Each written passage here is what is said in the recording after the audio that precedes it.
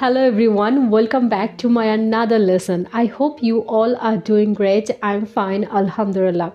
Actually, I'm making video after a very long time. That's why I'm very excited.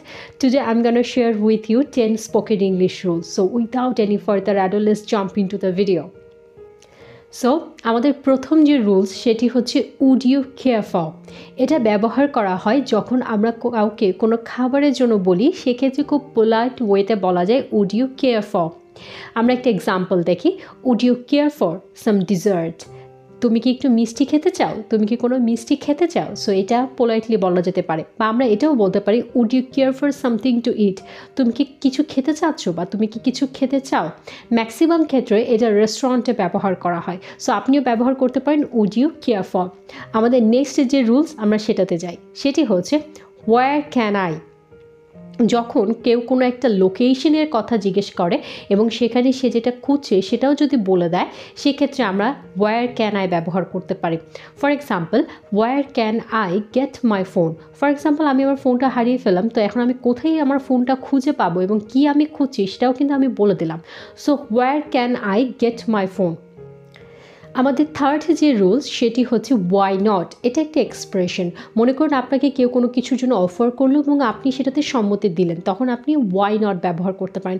For example shall I sing a song for you Anika why not okay so নেক্সটে যাই। Next যে rules সেটি হচ্ছে what would you do if এটা হচ্ছে একটা কাল্পনিক অর্থে ব্যবহার করা হয় যে যদি এরকম হতো তাহলে তুমি কি করতে?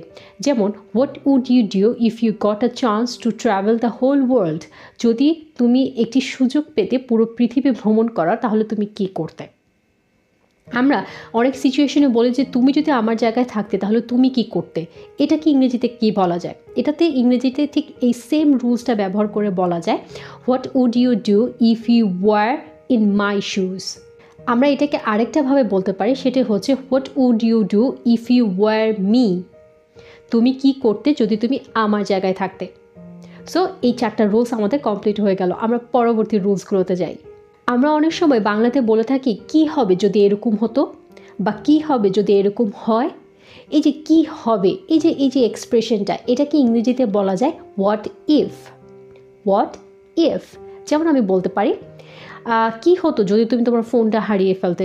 What if you lost your phone আমরা এটাও বলতে পারি what if it rains tomorrow কি হবে? যদি আগামীকালকে বৃষ্টি হয়। অনেক সময় আমরা বাংলাতে বলে থাকি যে, এটা আসলে অবাক হওয়ার মতো কোনো বিষয় নয়। এটা একদম জানা কথা।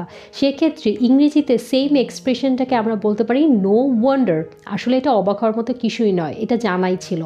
যেমন আমরা বলতে পারি you look sick no wonder you don't eat enough food তোমাকে দেখতে অনেক অসুস্থ লাগছে। আসলে এটা অবাক হওয়ার মতো কিছুই নয় যে, তুমি একদমই ভালো মতো খাওয়া দাওয়া করো না। Next you look happy no wonder you get a gift তোমাকে দেখতে আজকে খুবই হাসি খুশি লাগছে। আসলে এটা অবাক হওয়ার মতো কিছুই নয়, কারণ তুমি আজকে একটি উপহার পেয়েছ। সো নো ওয়ান্ডার আমরা যদি কি হয়েছে, এটা যদি বলতে যাই, তাহলে আমরা বাংলাতে বলে আচ্ছা ওর কি হয়েছে?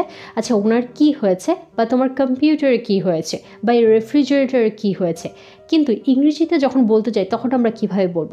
ইংরেজিতে বলতে গেলে আমরা বলতে পারি what's matter with what's matter with যেমন আমরা বলতে পারি what's matter with your phone what's matter with your computer what's matter with your refrigerator what's matter with her or what's matter with him এভাবে আমরা কি হয়েছে বা কি অবস্থা বা কি বিষয়, এই বিষয়টা আমরা ইংরেজিতে এক্সপ্রেস করতে পারি। আমাদের পরবর্তী রুলস হচ্ছে what can I do what can I do or what can I এটা হচ্ছে আমি কি করতে পারি? বা আমার পক্ষে কী করা সম্ভব বা আমি কি করতে পারি। এক্সাম্পল দেখি what can I do to make her happy আমি তাকে হ্যাপি রাখার জন্য কি করতে পারি?